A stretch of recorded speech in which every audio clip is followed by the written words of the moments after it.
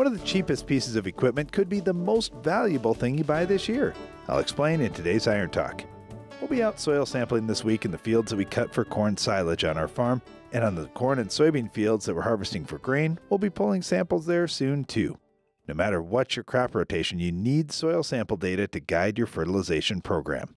A good stainless steel probe is only about a $100 investment. To operate it, I'd suggest making a mark at the depth that you'd like to pull the samples from so you're always accurate.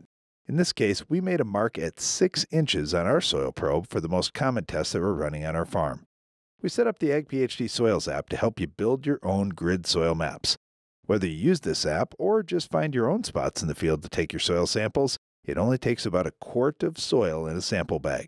We recommend pulling 8 to 10 cores per sample in a specific area and bagging each area separately rather than mixing multiple areas across the field together. Make sure that your probe is straight up and down as you pull each sample, and there's not a whole lot more to it than that. A good soil sampling program on our farm guides the hundreds of thousands of dollars we invest in fertility each year. Taking our own samples gives us confidence that we have good data to work from.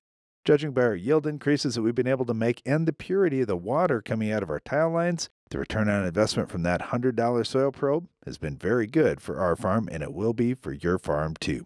That's all for today's Iron Talk, and now back to the show.